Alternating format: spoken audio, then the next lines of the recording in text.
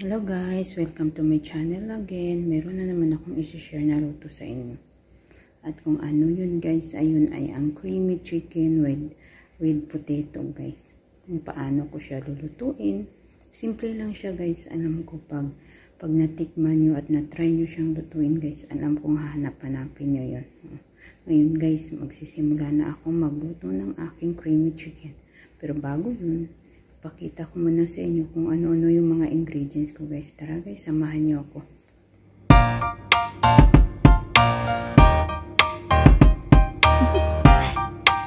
Do you wanna know? Hello guys! Welcome again to my channel. Ito po yung aking ingredients na creamy chicken with potato. Ano po yun? Nandito po guys, o yung manok. Hmm yung potato po na in-slice. Kayo na pong bahala kung paano nyo siya slicing guys ha. Tapos yung onion, yung garlic po, at saka yung luya. Ngayon guys, simulan ko na po magluto ng aking creamy chicken.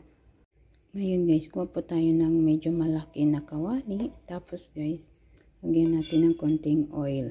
Ayan na po. Ngayon guys, hintay natin na mag-init yung oil guys ha. Ngayon guys, kung mainit na yung oil guys, ilagay natin yung sibuyas ha.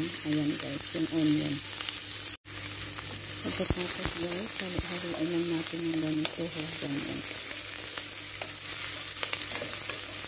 Ganyan po. Hintayin po natin na mag-brown konti yung yung sibuyas guys ha.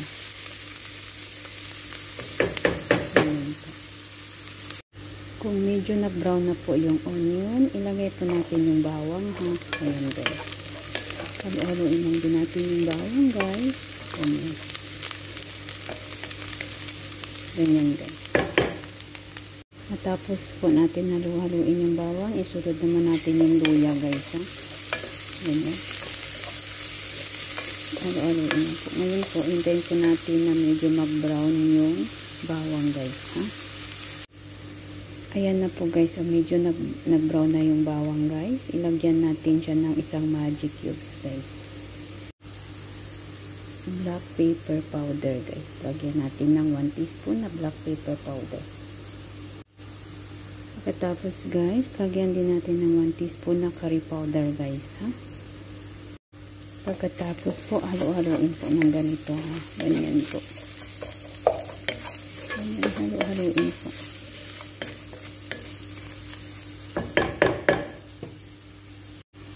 Pagkatapos po guys, ilagay natin yung manok. Ayan po. Ilagay na po yung manok. Ilagay po natin yung potato guys. Ayan po. Pagkatapos guys, lagyan po natin ng asin ha. Ayan po yung asin guys. Tapos po guys, halo-haloin po natin ng ganito ha. Ganyan po. Ganyan.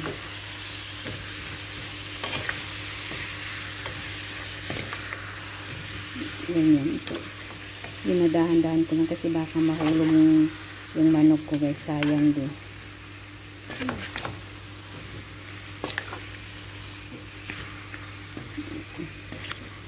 nirapan ako guys kasi yung isang kamay ko lang yung yung, yung gumagalaw yung isang kamay ko nasa cellphone din ganyan lang guys alo-aloin lang natin ganyan ha Pagkatapos haluin guys, takpan po natin. Tapos papakuluin po natin. Kumbaga lulutuin po natin siya sa maliit na apoy para yung manok po magkaroon po ng sabaw. Uh, hintayin po natin na magkaroon yung sabaw yung manok. Ayan na po guys. O diba medyo nag, nagsabaw-sabaw na po siya konti. Ayan siya. Nagsabaw-sabaw na siya konti diba. O, nag-mix na nag-mix na siya doon sa potato guys. Ang sunod ko pong gawin guys, lagyan ko lang siya ng konting tubig lang ganyan guys. Ayan, konti lang po.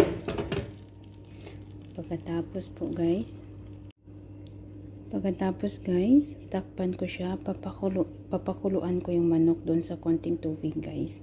Sa maliit na apoy lang ha. Ngayon hintayin ko po siyang kukulo yung manok guys. Ayan na guys, diba nakita niyo siyang kumukulo guys. Ngayon, ang sunod kong gagawin guys ay lagyan ko siya nito guys. Oh. Cooking cream, almari cooking cream. Lalagyan ko siya guys para maging creamy po siya. Ayan na po guys, lagyan ko na po. Ayan guys, depende na po yun sa inyo. Kayo na po yung bahalang mag-estimate kung gaano karaming cooking cream ang ilagay nyo guys. Yung tama-tama lang na hindi naman siya masubrahan guys. Pagkatapos po siyang lagyan ng cooking cream guys, halu-haluin lang po natin ng ganito guys. O, ganyan. Ay. Binadahan-dahan ko lang siya guys kasi baka mabuhos po siya. Mm -mm, ganyan. Ganyan po.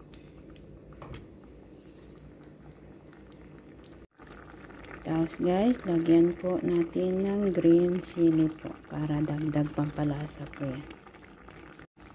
Tapos guys, takpan natin siya guys. Ganyan, takpan natin. Tapos, lulutuin natin sa maliit na apoy yung manok at saka yung potato po. Sa maliit na apoy lang, hintayin natin na maluto yun siya. Pagkatapos guys, ready to eat na po yung aking niluto. Pwede na pong kumain ng pananghalian. Ayan na po guys. O, kumukulo-kulo na siya guys. O, ayan, dapat na siyang maluto guys. Ayan na po. Hintayin ko na lang po na maluto po yung manok. Ngayon guys, takpan ko na siya. Hintayin ko na lang ng mga 5 or 10 minutes. 5 or 10 minutes. Tapos luto na po yun siya. Ready to eat na po. Hello guys. Ayan na po yung aking creamy chicken. Naluto na po siya guys. Ayan na po. Ayan na po siya guys. Ayan na po.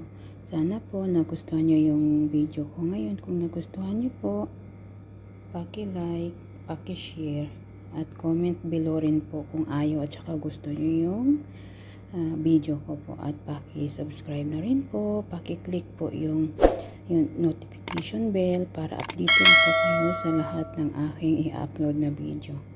Salamat guys. So, keep safe everyone. Sukran po. Bye.